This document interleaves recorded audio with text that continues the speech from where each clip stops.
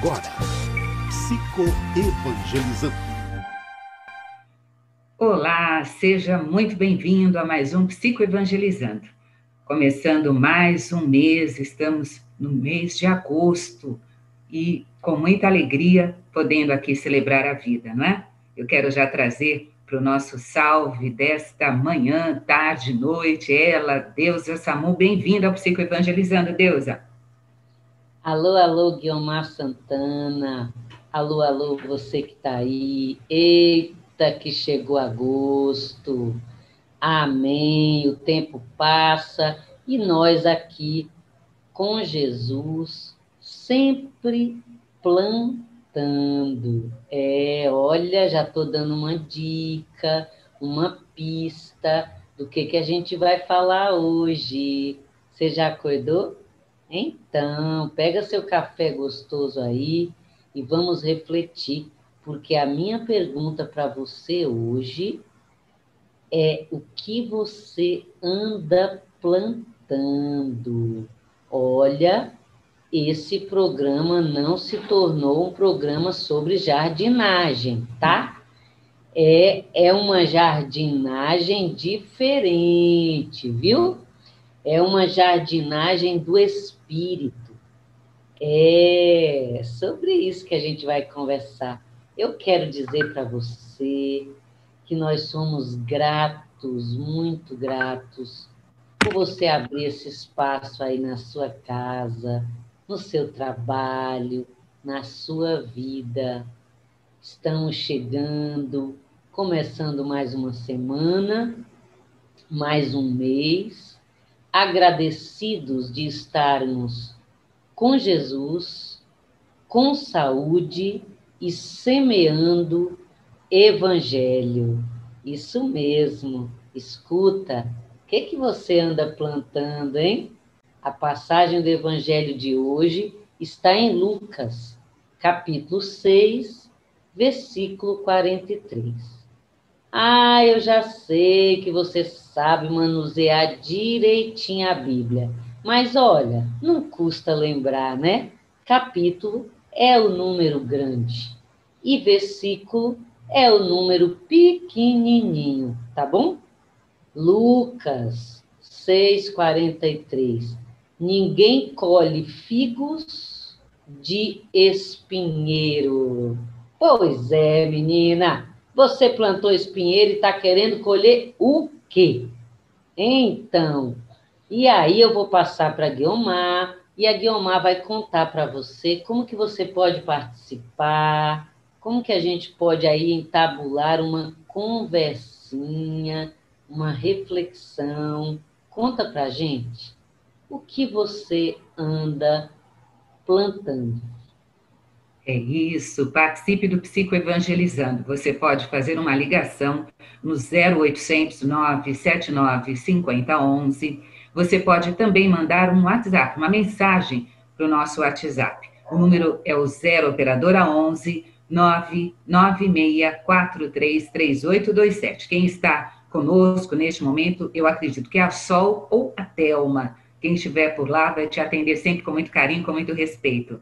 Você pode participar conosco também pelo YouTube. Estamos em transmissão ao vivo pelo YouTube, RBN barra TVMM. Você pode também nos acompanhar é, em TV Mundo Maior, o YouTube da TV Mundo Maior. São muitas as formas de você participar, tá bom? Queremos saber o que você anda plantando. Mande sua mensagem.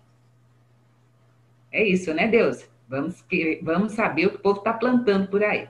Exatamente. Acho legal também você já lembrar, né, Guilmar? Aí no comecinho da nossa chegada, já lembra o povo aí que é, daqui um tempinho, lá para uma meia horinha, a gente vai ter o quadro, né? Conta aí para eles. Conto sim, Deus. É importante, né, saber que você que está em luto tem aqui um colinho da deusa. Então, tá de luto? A deusa está aqui. Então você manda sua mensagem pelo telefone, pelo WhatsApp ou pelo YouTube e coloca como título mensagem sobre luto, que daí nós vamos trazer neste quadro a partir de umas 10h30 para Deus a poder conversar com você e te trazer o consolo, ok? Então, participe aqui do Psico Evangelizando. Hoje o tema é o que você está plantando. E aí, você, jardineiro da vida, pois é, você já acordou? Tá animadinho? Mais uma semana, oportunidade de crescimento, de aprendizado, de fazer melhor.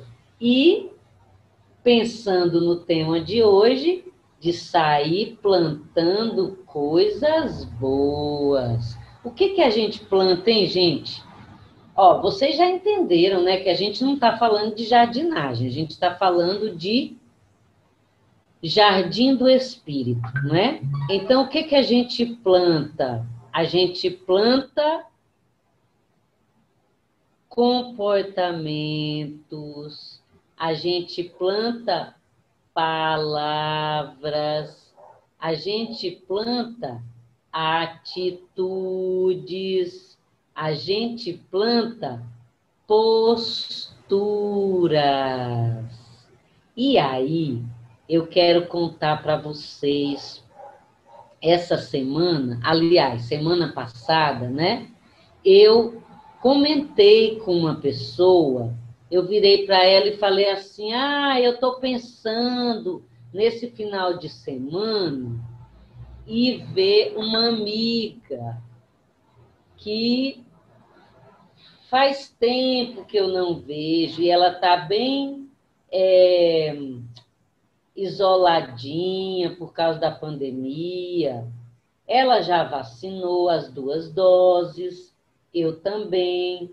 Então eu vou lá, fico de longe, de máscara, peço para ela deixar as janelas bem abertas e vou lá.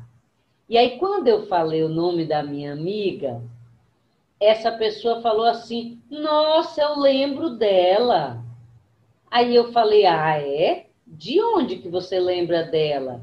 Aí ela disse assim: Olha só, gente, você que está aí, que está pegando o bonde andando, não está entendendo nada, nós estamos falando da passagem do Evangelho de Lucas 6,43. Ninguém colhe figos de espinheiros, entendeu? Tipo assim, plantou espinho, vai colher o quê? Espinho, né, minha filha? Acorda para a vida. Então, e aí eu estou contando da minha amiga, que eu decidi visitar, e eu estava contando para outra pessoa que eu imaginava que não conhece ela. E aí ela, já já eu conto para vocês o que que isso tem a ver com o que você anda plantando, entendeu? Aí eu disse assim: "Ah, eu vou lá na casa da fulana". Aí ela disse assim: "Ah, eu conheço, eu, eu lembro dela". Aí eu falei assim: "Ué, você lembra de onde? Ela falou assim: Olha, uma vez eu precisei de uma coisa e você me indicou ela. E aí eu fui lá há muitos anos atrás. Só foi essa vez que eu tive esse contato com ela. Mas ela foi muito atenciosa, muito doce, muito querida, muito generosa. Então, eu fui lá e fiz exatamente o que ela me orientou. E deu certíssimo. Então, eu nunca mais esqueci. Ah, que legal, né, gente? Que, que isso tem a ver com o que a gente está refletindo? Tudo a ver, criatura. Vocês já imaginaram se essa minha amiga tivesse maltratado essa pessoa? Tivesse é, sido é, ríspida, não tivesse dado atenção, a minha amiga ia lembrar dela, só que ia lembrar de outro jeito, entendeu? Percebeu que aquilo que você planta vai fazer sentido para sempre, entendeu? E aí eu pergunto para você, o que, que você anda plantando, hein? Quando alguém fala no seu nome, que será? Que tipo de reação as pessoas têm, né? Olha só, quando a gente fala, por exemplo, Chico Xavier, ah, todo mundo fala assim, nossa, que legal, que exemplo. Olha só, eu já sei o que, que você está pensando. Você está pensando assim, ah, Deus, você pegou pesado, né? Chico Xavier. Ah, eu estou longe. Pois é, gente. Então vamos pensar alguém mais simples, mais é, menos evoluído. Você pode lembrar de alguém. Você conhece alguém, de repente sua mãe. Sabe quando você fala assim para a pessoa: Oi, tudo bem? Tudo. Ah, eu sou filha de fulana. Aí a pessoa fala assim: Nossa! Fulano! Ai, gente, sua mãe é tão bacana, tão legal, me ajudou. Não é assim? Ou então você fala assim: Então, eu sou prima da fulana. Aí a pessoa fala assim: Ai, olha, desculpa, tá? Você é muito legal, eu gosto muito de você. Mas a sua prima, ai, ai, ai. Não é assim? Aí você, aí você pensa assim, ai, meu Deus, que será que minha prima, né? Às vezes, a sua prima é uma pessoa bacana. Mas, naquele dia que ela cruzou com aquela sua amiga, ela não estava muito bem. E aí ela teve um comportamento, uma fala, uma atitude, uma postura que a sua outra amiga repudiou. Não é assim? Então, e aí? Você está acordando agora, é isso? Está pegando o bonde andando? Então, a gente situa você, tá? Psicoevangelizando na área, menina. E hoje o tema é o que você anda plantando e olha, eu quero que você seja honesto, tá bom? Vamos conversar. Sabe por quê? Porque todo dia é dia de plantar, gente. Se até ontem a gente andou plantando umas coisinhas muito não muito boa e o jardinzinho não está muito atraente, né? A gente pode começar hoje plantar umas coisinhas melhor, entendeu? Então, conta para nós aí. Vou ficar quietinha agora. E aí você vai me dando aí umas dicas de que você anda plantando. Conta para nós. Deusa, deixa eu trazer algumas das participações de ouvintes que estão nos acompanhando pelo YouTube. YouTube RBN barra TV MM. E daí eu já te dou a dica aqui. Você se inscreve no canal, aciona o sininho e sempre que tiver ali uma transmissão ao vivo, você vai ser avisado, tá bom? YouTube RBN barra TVMM. A Ana Castilho, ela diz, uhul, eu consegui acompanhar vocês ao vivo, tá com a gente, Ana Castilho, obrigada, viu, pela audiência. A Edna Vandatelli também conosco. Rafael Barbosa Chagas, do Rio de Janeiro, também presente aqui na programação. A Isabel Rodrigues, também aqui conosco. Eu quero, neste momento, também trazer as participações que estão chegando aqui pelo YouTube da TV Mundo Maior, daqui a pouquinho chegando aqui as mensagens. Lourdes Souza, é, da Conceição, lá de Astolfo Dutra, Minas Gerais, também está por aqui nos acompanhando. E assim, Deus, eu posso trazer um testemunho sobre este tema de hoje? Por favor. Eu queria falar sobre minha avó. Eu acho que eu até já falei sobre ela aqui. A minha avó era conhecida aqui no bairro, a dona Ana, como a Santa, né? Então, pessoal, quando nós viemos morar para cá, eles é, nos identificavam como as netas da Santa, porque a dona Ana, ela era muito ativa aqui na região, sempre ajudou, sempre atenta às necessidades aqui dos vizinhos, é, das pessoas aqui do bairro. Então, eu e as minhas irmãs ainda somos conhecidas por aqui como as netas da santa. Então ela plantou e não foi pouco não, né? É, você já falou da sua avó em outros momentos, né? Não necessariamente sobre esse tema, mas você já falou da fama dela aí de, de boa jardineira da vida, né?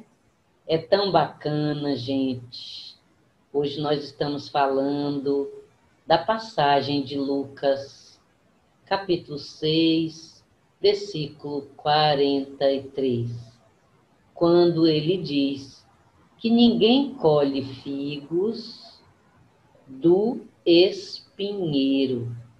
É muito comum a gente, às vezes, pensar assim: nossa, por que que Fulano está diferente comigo?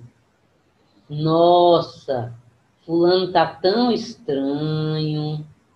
Nossa, o que será que eu fiz que Fulano mudou? Pois é, talvez você andou plantando umas coisinhas, falando, fazendo, se comportando de um jeito que maltratou a outra pessoa, entendeu? E aí, por isso, você está colhendo esse comportamento. Você está recebendo de volta aquilo que você acabou semeando, não é? E aí, lembra que eu falei para vocês que eu fui visitar essa minha amiga, que ela tá lá isoladinha, já vacinou. Então, e aí a gente ficou conversando. E já que a gente está falando de sobre o que a gente anda plantando, não é?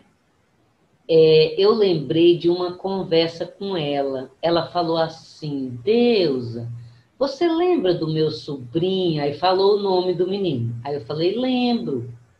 Ela disse assim: Nossa, ele fez uma malcriação tão grande comigo. E aí eu estava pensando em revidar.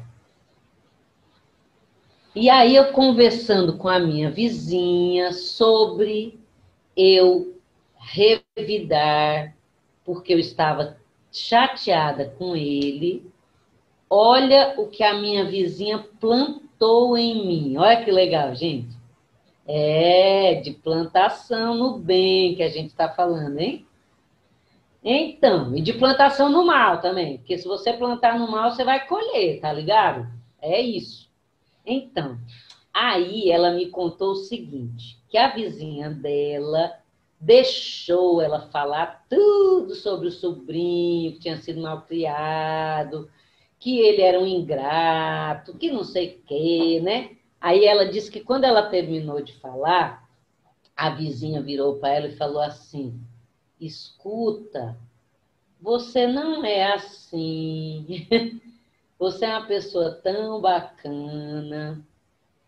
Aí eu te sugiro que você lembre da história do seu sobrinho. Ele foi um menino rejeitado, maltratado. Se coloca no lugar dele um pouquinho. Você já parou para pensar nisso? Então, Olha só, isso não justifica, mas isso explica alguns comportamentos dele. Então, criatura, você jura mesmo que você vai revidar? Aí essa minha amiga disse que pensou e falou assim: nossa, minha vizinha tem razão, né? E aí ela estava me contando, aí eu falei para ela: olha, obrigada, viu? De você compartilhar comigo, porque você poderia não ter caído a ficha, né? Mas a ficha caiu a partir de um plantio da vizinha, né? Porque se a vizinha tivesse resolvido semear um pouquinho de veneno, né, não? Ixi, a coisa ia longe, né? Então, conta para nós o que, que você anda plantando? Como é que as pessoas lembram de você? Quando você é citada numa roda de conversa, você faz ideia do tipo de reação que as pessoas têm? Porque olha só, a reação que as pessoas terão está 100% relacionada ao que você anda plantando por aí, criatura. Conta para nós. Tô aqui, vou ficar quietinha. Quero só ver a Guiomar me contando aí do que, que vocês andam plantando. É isso, Deusa. Chegou aqui a mensagem pelo nosso WhatsApp, que é o 996433827, da Gessi, da Vila Talarico. Ela diz assim: Eu procuro plantar o bem sempre. Quando alguém fala que sou legal, eu fico sem jeito. Eu aprendi a ser uma semeadora da paz com a minha mãe e com a doutrina. Esta Gessi, da Vila Talarico, Deusa. E tem também participando aqui conosco a Sandra Cunha, pelo YouTube, a Dalmira Lopes, ela diz: Bom dia, queridas, Deus vos abençoe. Daqui a pouquinho tem uma questão sobre luto, Dalmira, e eu vou trazer neste espaço, tá bom? Fica, aguenta aí a onda, que daqui a pouquinho a Deusa fala com você sobre luto. A Janete Moraes, ela diz assim: Eu tenho tentado plantar o melhor de mim, às vezes sem muito sucesso, mas continuo insistindo. Um dia brotam as tentativas das coisas boas, é claro, ela coloca aqui, esta Janete Moraes. A Liliane Oliveira está conosco, desejando um bom dia, mandando um coraçãozinho aqui. A Cida Lopes também, desejando uma semana abençoada. E a Helena Silva, desejando bom dia. Então, Deus, a Janete diz que segue aqui plantando, às vezes sem sucesso. E a Gessi, da Vila Talarico, diz que aprendeu com a mãe e com a doutrina. Aí, Gessi, a Gessi está sempre na escuta, está sempre aí conosco, de vez em quando ela compartilha. Legal, Gessi. A doutrina, ela é um bom instrumento, né? Para que a gente desperte para o nosso plantio. Que tipo de plantação a gente tem feito, né? todo dia é uma oportunidade da gente cuidar desse jardim da vida. É, semana passada, na quarta-feira, desencarnou um amigo meu. Repentinamente, ele sofreu um acidente no trabalho. E aí, é, nós ficamos muito impactados com o desencarne dele. E eu estava pensando, né? Hoje, na hora que eu estava aqui refletindo sobre esse tema, eu estava pensando de como as coisas às vezes acontecem de uma maneira totalmente inesperada. Então a gente deve aproveitar o dia, o agora, para semear boas palavras, boas atitudes, não deixar passar a oportunidade de ajudar alguém, né? Ajuda, depois você você não ajuda, depois você fica meio arrependidinho, né? Putz, eu podia ter feito assim, eu podia ter feito assado. Então, o dia é hoje, é o dia da gente semear. O que, que você está plantando por aí, hein? E a Janete, acho que é Janete o nome da moça, ela falou que segue plantando coisas boas, às vezes sem sucesso. Então, Janete, olha só, eu não sei o que, que você quis dizer por sucesso, né? Mas no plantio da vida, o que realmente importa é que nós estejamos plantando coisas boas, entendeu? Porque se todo mundo resolver plantar coisas boas, lá no finzinho do caminho, lá na frente, nós teremos um jardim tudo de bom, entendeu? Então eu imagino que sucesso seja o que Deus espera de todos nós, entende? Então você deve continuar plantando e tentar, olha o verbo que eu estou usando, hein, Janete? Pelo amor de Deus. tentar não ter expectativas, entende? Ah, eu, eu vou tratar bem as pessoas e eu quero que elas me tratem bem. Vixe, tratar bem é a sua parte. E o que elas vão fazer é a parte delas, entendeu, Janete? E olha, menina, outro dia eu li uma frase que eu achei muito legal. Eu não falei ainda porque eu estava pensando em vender essa frase para Guilmar, entendeu? Mas ah, é verdade. Mas agora tem uma oportunidade de falar e como eu quero plantar coisa boa, eu não vou mais vender, eu vou dar, tá bom? Olha só, olha a frase que legal. Abre aspas, tá? Também não sei de quem é, tá? Tem uma coisa que ninguém pode fazer por você. Dois pontos. Sua parte. Fecha aspas. Ai, Jesus, gente, é tão óbvio, não é? Mas a gente a gente pensa assim, meu Deus, é verdade. Olha só, a oportunidade de você ajudar, de você ser do bem, de você fazer, plantar o bem, é sua. Aproveita. Vai que é tua, Taparel, entendeu? Muito bem, conta para nós. O que que você anda plantando? Deixa eu trazer aqui, Deus, a participação pelo YouTube, RBN barra TVMM, da Ana Castilho. Ela diz assim: o programa está me abrindo os olhos hoje, porque eu estou um pouco revoltada com algumas coisas que estão me acontecendo. Fala aí com a Ana Castilho, Deus a.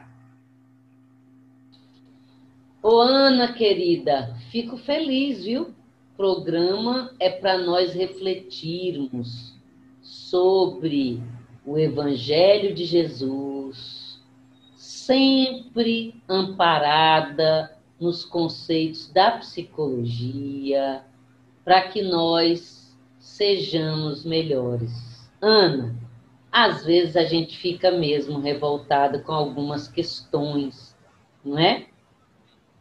É normal, faz parte da nossa dimensão humana.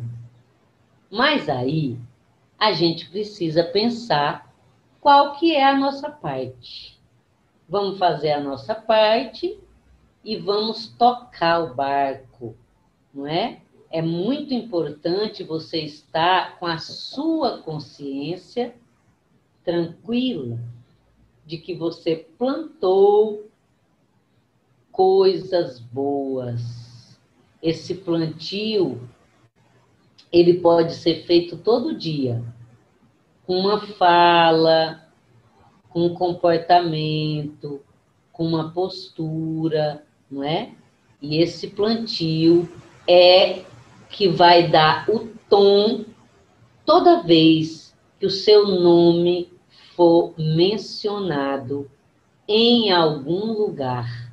Aliás, lugar pressupõe geografia.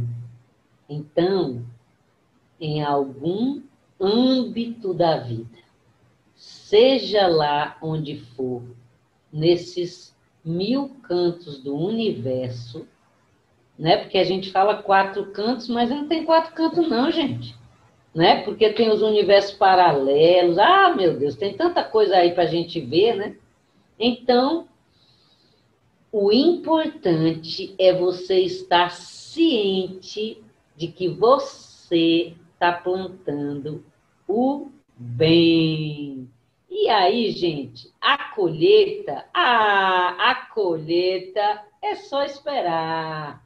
Hoje eu vou terminar o programa com uma frase maravilhosa. Só que eu não vou poder vendê-la porque ela não é minha, ela é do André Luiz. Ela é do André Luiz, no livro Os Mensageiros. Olha, você não sai daí, tá?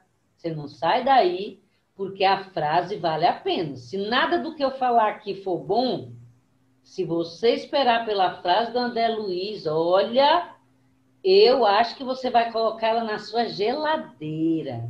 viu? Que é para todo dia você dar de cara com aquela frase e rever aí os seus plantios. Conta para nós, Guilmar, o que, que o povo anda plantando por aí? Então, Deus, agora chegou aquele momento de você dar aquele colinho para quem está precisando, né? Eu vou pedir para a turma da técnica colocar para gente a vinheta. Tá de luto? Tô aqui. Tá de luto? Tô aqui. Vou trazer a participação, Deus, a, da Dalmira. A Dalmira, que está aqui conosco pelo YouTube, RBN barra TVMM. Ela diz assim.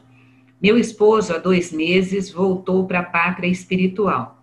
Os dias vão passando e a dor aumenta, mas eu peço orações e ela é de São Paulo. Beijos. A Dalmira, que está aqui em luto há dois meses pela volta do esposo ao, ao plano espiritual. Deus. Oi, Dalmira. Obrigada, viu? por você compartilhar conosco aí a sua questão. O importante, Dalmira, é você viver o seu luto.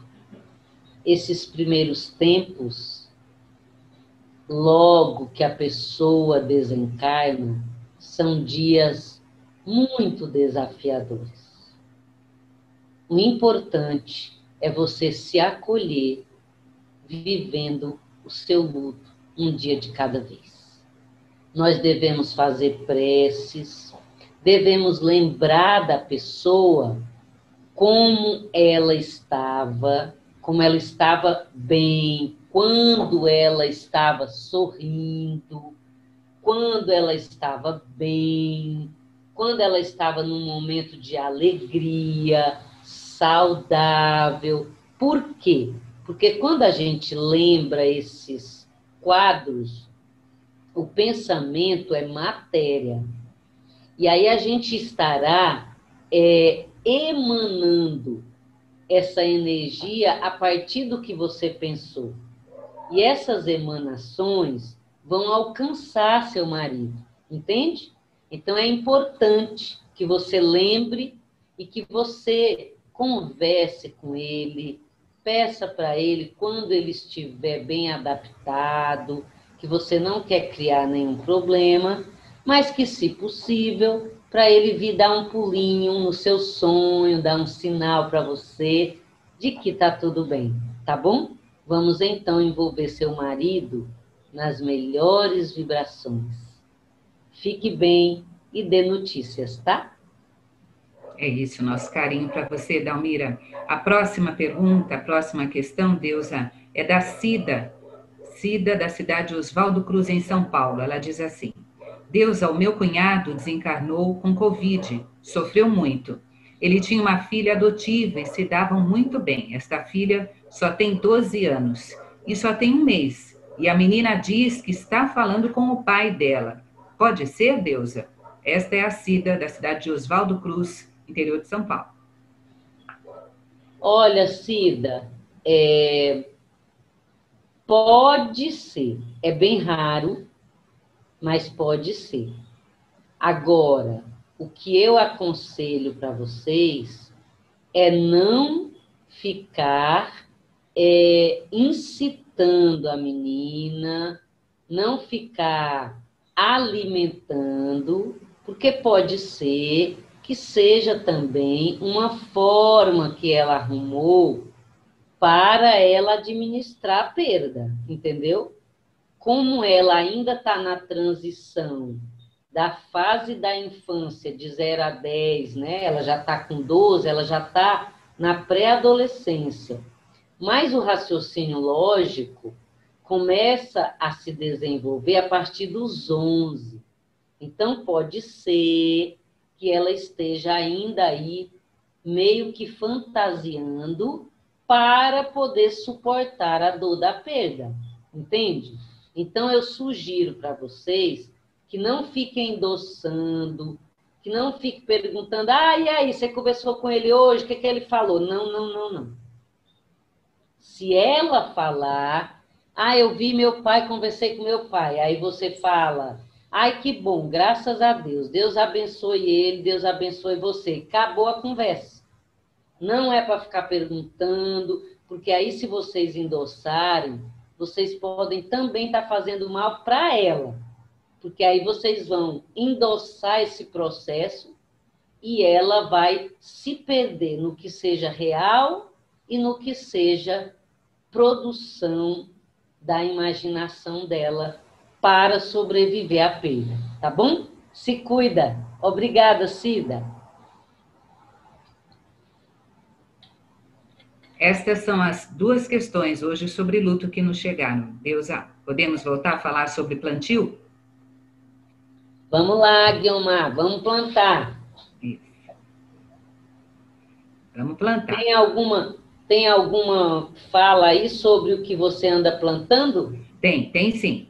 Quem mandou mensagem para a gente foi a Ana, a Ana de Salvador. Um beijo para você, Ana. Ela diz assim: Deusa, eu gosto muito quando você fala a respeito dessas passagens do Evangelho do Cristo.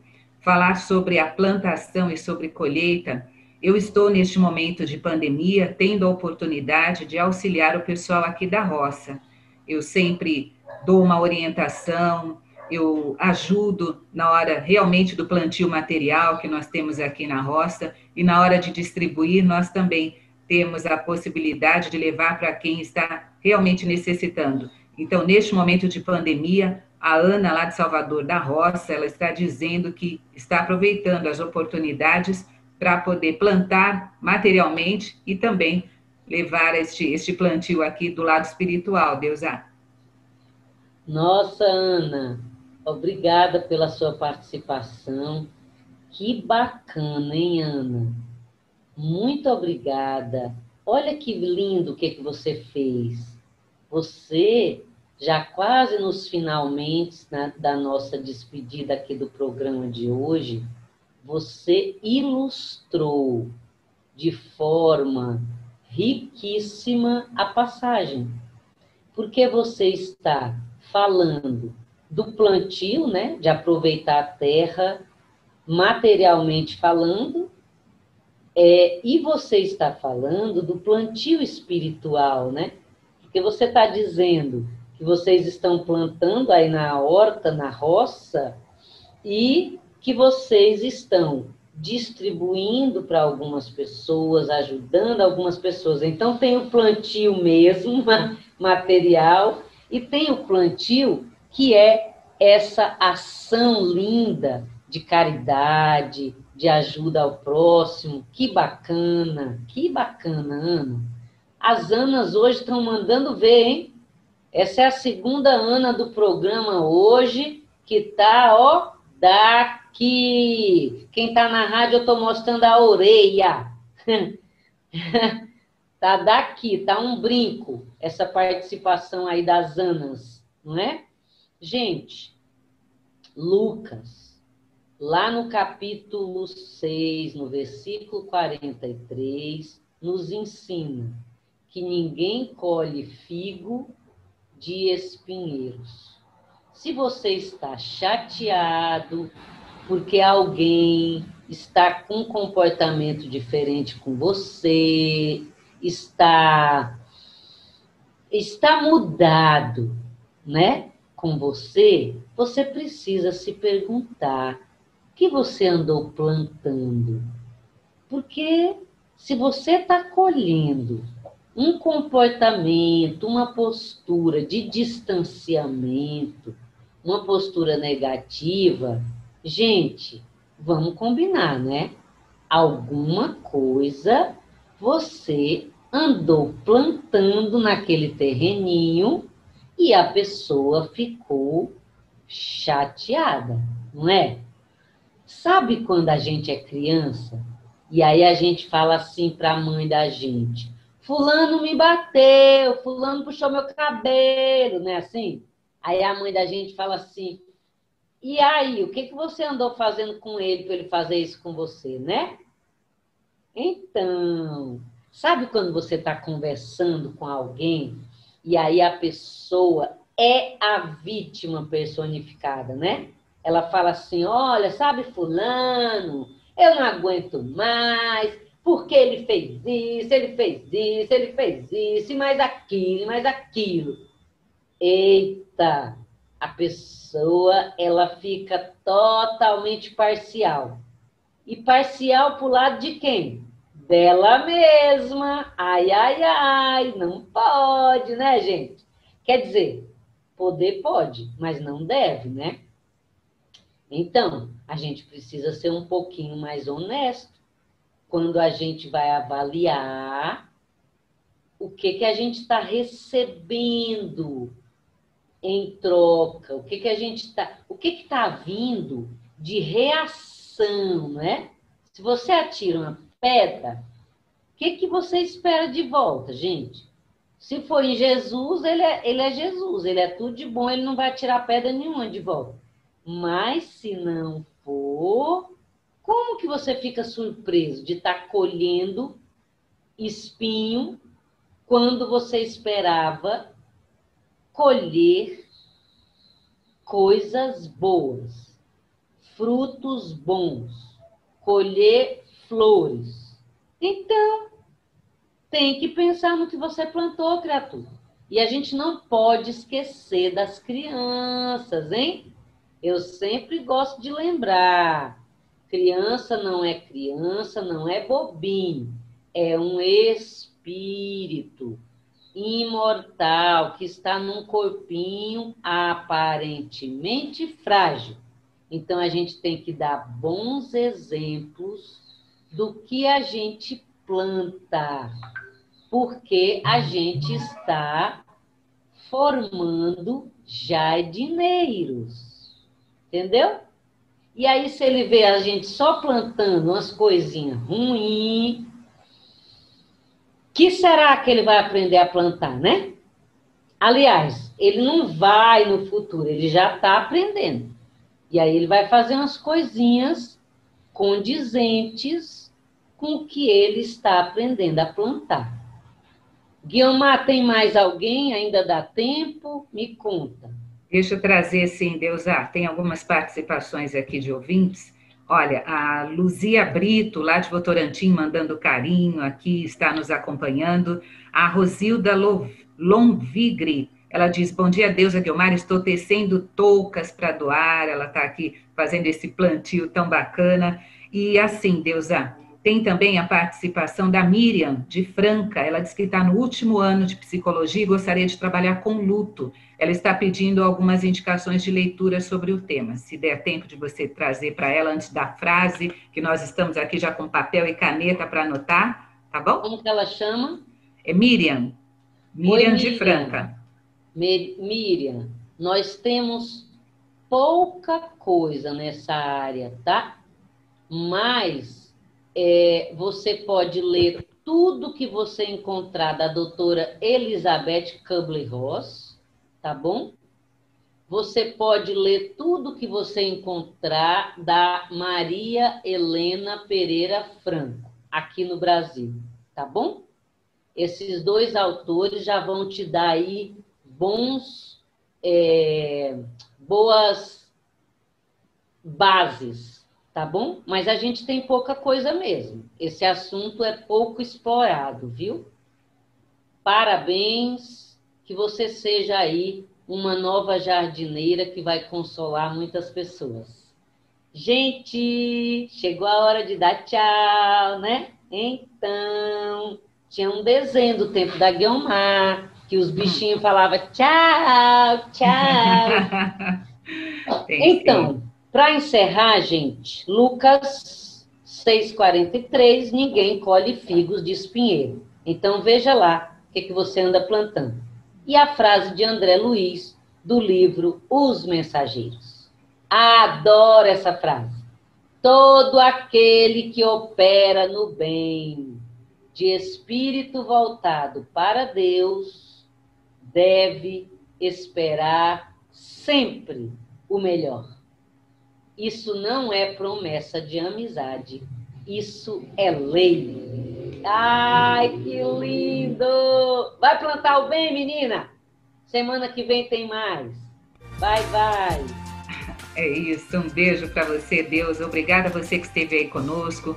Quero agradecer aqui o Marcos Magrini na técnica, o Jefferson Silva, também o Rogério Palma, o Alailson Cunha. Agradecer a Letícia Lopes, que está administrando o YouTube, gratidão. E a Eliette Ribeiro, que compartilhou conosco o link do, do Zoom. Beijo a todos. Psicoevangelizando volta na próxima segunda-feira e nós aguardamos por vocês, tá bom? Até lá.